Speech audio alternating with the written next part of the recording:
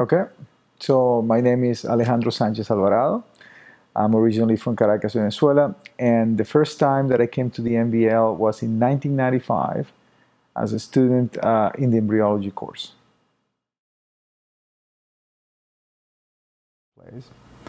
And it is a special place because it is actually surrounded by nature, okay? Uh, and I see this every time I leave the lab in the evenings and I come out into um, MBL Street and there's Eel Pond and the sun is setting and the clouds are there and you can smell the, um, the air, uh, the ocean air and the ocean you can hear, you're surrounded by nature. Um, so when you spend your whole day behind a microscope uh, looking at um, the wonders of life and, um, and you start thinking about it in abstract terms like genes and expression patterns and so forth and so on.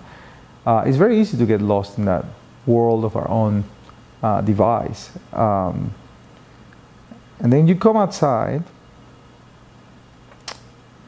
and um, you see where these things come from. And uh, all of a sudden, your world that you have just constructed is small. It's tiny. It's not satisfactory even though you thought you were really, you know, kicking ass. And so, uh, so that's one thing that I find to be absolutely special about this place, is that the science is being done um, in an environment that is not urban, that is essentially just nature. Uh,